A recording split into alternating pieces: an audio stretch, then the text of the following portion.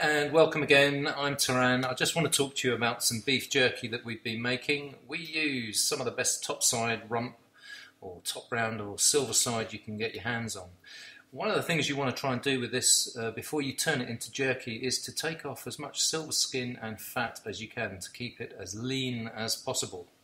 And then you need to slice it into thin strips. We try and make these strips about three millimeters thick and it's sometimes easier to partially freeze it before you do this.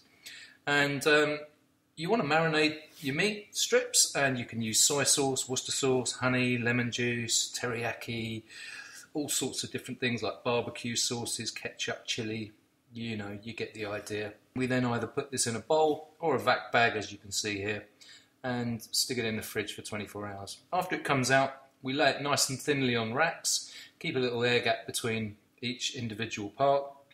And you want to pop this in the oven at a very low temperature. We use a fan oven, or you can use a dehydrator if you have one. But this will dry out really nicely.